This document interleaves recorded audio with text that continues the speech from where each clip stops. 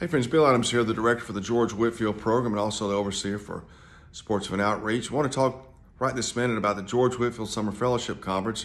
I appeal to one group of people hopefully are out there that would uh, benefit, would consider coming and join us.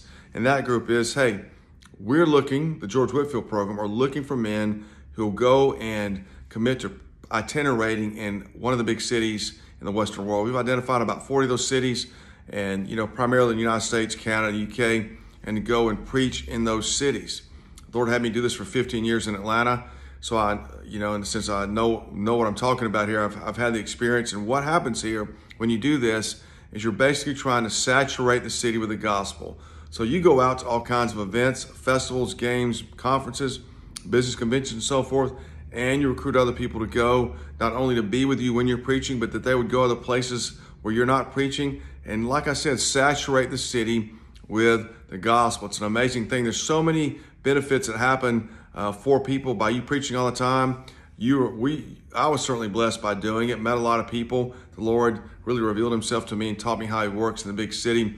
But primarily, the goal is to take the light into the dark, life into the dead. Most big cities don't have a lot of churches where these events go on, arenas, stadiums, and parks and so forth.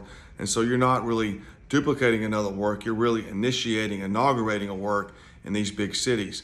And it's really necessary. In the big cities, you have all, a convergence of all these various and sundry human philosophies that go on. And these people, you know, hey man, they need the light. They need the cross of Christ. They need Christ preached. And so it's a very practical work to do. Like, hey, it's dark here. We need to go bring the light. I'm going to commit because it's a full-time commitment to do this. I'm going to commit for many years to go into one of these cities and preach the gospel. Is that you? Does that resonate with you? And then contact me and let's talk about it because that's where we're at with the Whitefield program. We really want to start moving forward and recruiting men to come out and join us in this effort to saturate these big cities with the gospel. Contact me 423 724 7500 423 724 7500. Love to chat with you. Take care.